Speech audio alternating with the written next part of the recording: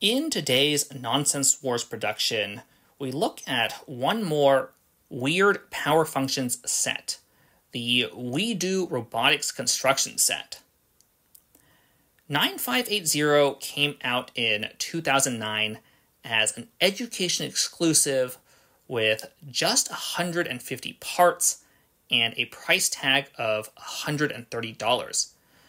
Nominally much less than a $300 Spike Essentials, but perhaps not when accounting for inflation. We got ours new from eBay for a mere $75. Our set came in two boxes a plastic locking tub in the usual education style, and a flimsy cardboard box with paper manuals. Opening the tub reveals a cardboard insert with a parts list and a clear plastic tray with the special parts. The tray has a part number stamped in one corner, but it does not indicate what to store in each section. Lifting the tray reveals two more bags of parts and a couple large ones. If LEGO had printed the instructions wider and shorter, they would have easily fit down there. Let's take a look at those special parts, starting with the USB hub. This is a 5x4 brick with two power functions connectors on top and a USB cable in the back. Where the top half joins the bottom half has a slope reminiscent of one of the power functions receivers. The hub also has pinholes where the receiver has them. The next special part is the tilt sensor. This is a 4x2 brick with cutouts in the sides suggesting the function. The brick does not have any other remarkable features, but the cable has a special PF connector that cannot stack additional PF connectors. The final special part is the motion sensor. This is another 4x2 brick, but with two lenses on the narrow end and some molding around them. LEGO, or at least Bricklink, calls this a motion sensor, but it does more than that. It also has the special PF connector.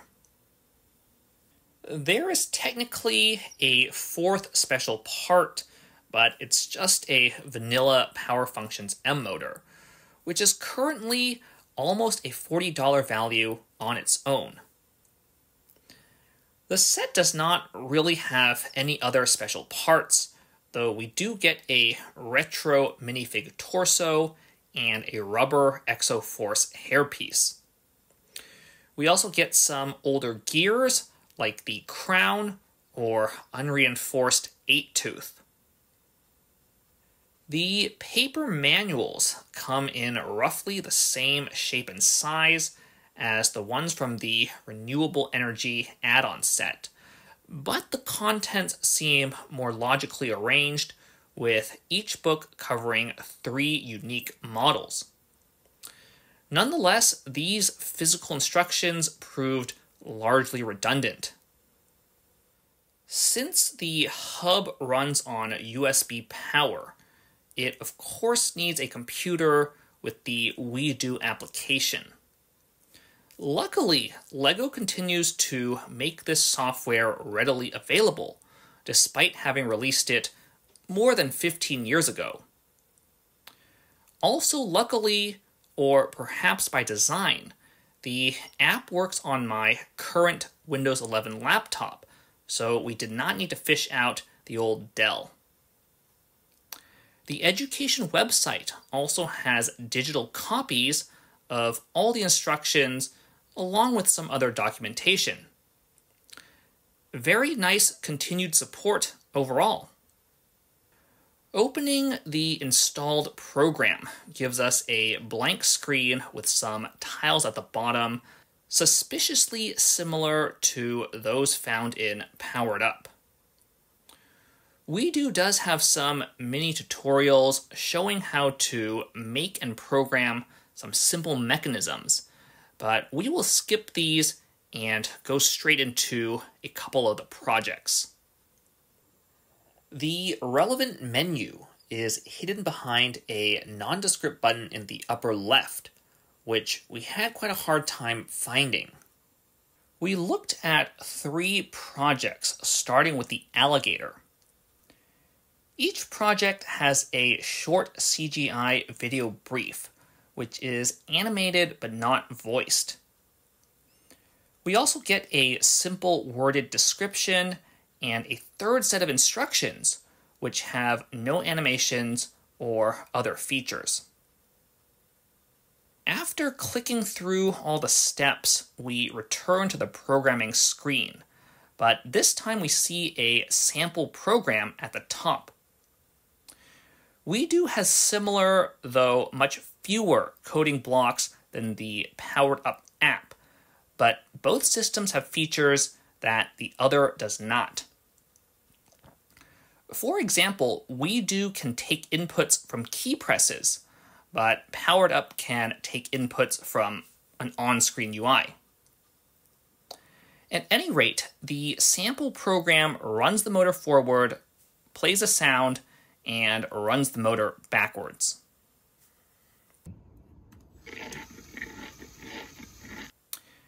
Of course, the project suggests extensions, such as making the alligator motion activated rather than input activated. The relevant sample program waits for the triggering event, runs the same program as before, and returns to waiting.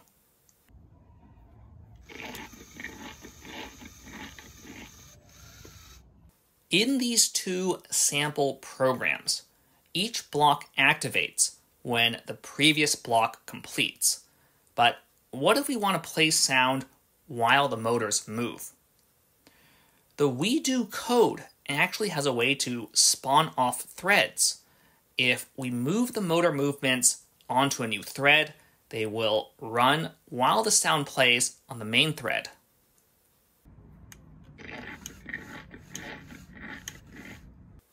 we wanted to save our program before moving on to another project, but we could not find a way to do so. This seems particularly strange because the app seems to have a fairly obvious way to open programs. Along the way, we discovered that the UI lets us comment our code using freeform speech bubbles we would love to see a similar feature in something like Studio. Next, we looked at Big Bird, a simple project utilizing the tilt sensor. While the flavor videos don't have voices, they do have sound effects. The Big Bird has a mechanical and electronic effect. Pressing the tail flaps the wings and activates the tilt sensor, which triggers a sound. It's a cute, satisfying mechanism overall, but that's pretty much it. There are some extensions, but let's actually dive a bit deeper into how the sensors work. The panels in the upper left corner of the UI show the connected devices and their statuses. For example, we see a tilt sensor when we connect one, and we see the angle when we tilt it. In fact, if we return to the Big Bird program, we can change the angle at which the sensor triggers the sound. Each tilt direction also corresponds with a number, which we can display separately in the UI. The sensor nonetheless does not indicate the magnitude of tilt, only the direction. With that in mind, we looked at one more project, the sailboat. The base build is very simple. A crank rocks the boat, and the sample program varies the speed of the rocking. One suggested extension as a tilt sensor to play sounds, but we had a better idea. We added the tilt sensor as shown, but we slowed down the drivetrain a lot using the worm gear gearbox. We programmed the motors to run if the sensor tilts forward or backwards. Uh, this makes the boat level itself regardless of the angle of the base. The code blocks actually do not do this well. They have poor conditional language, and we have to run separate threads off of different triggers instead of making if statements. Displaying the sensor output in the UI really helps with debugging though. With this same program, we can also make a simple three pole switch. Tilting this lever forward runs the motor one way, tilting it backward runs the motor the other way, and leaving it upright stops the motor. Let's change gears and look at the motion sensor.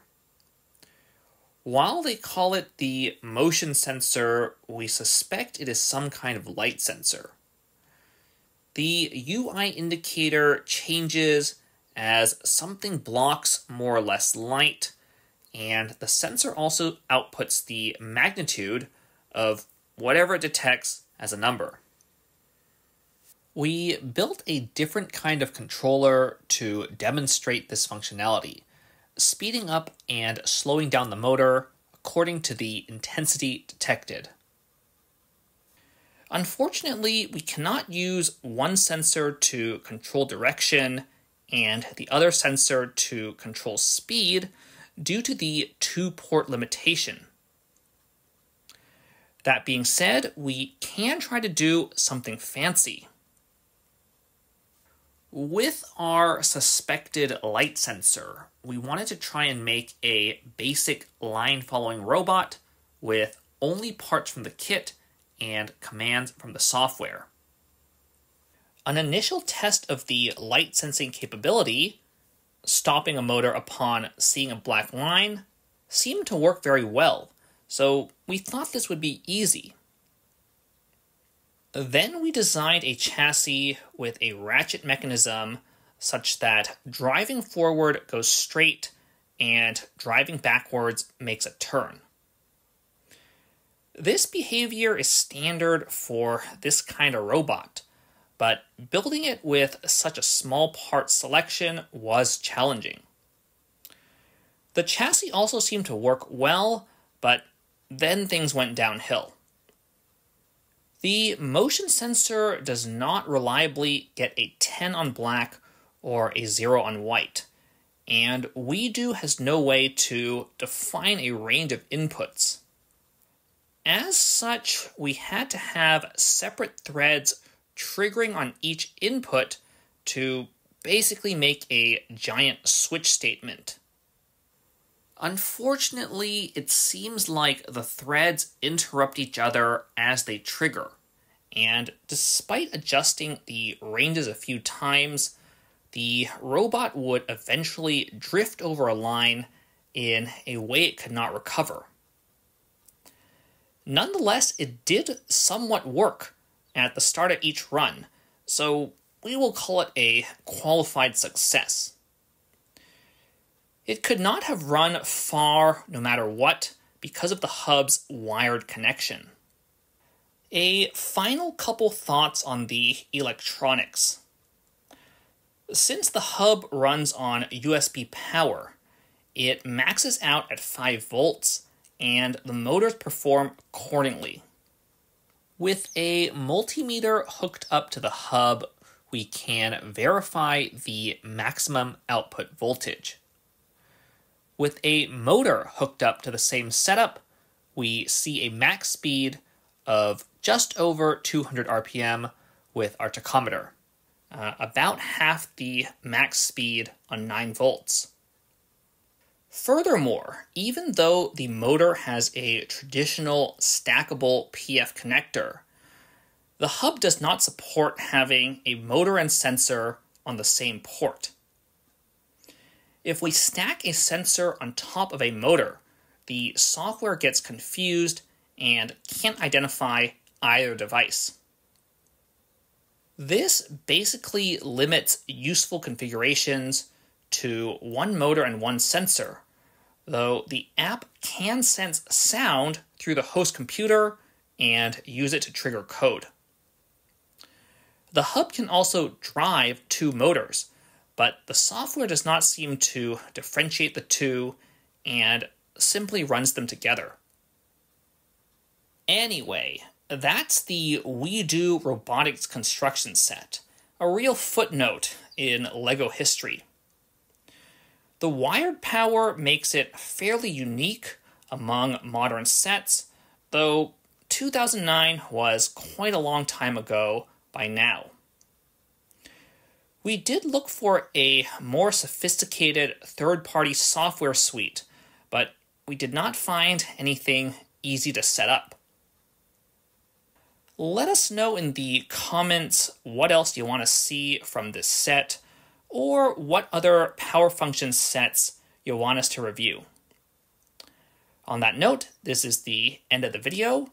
Uh, please consider subscribing if you like what we do, and have a nice day.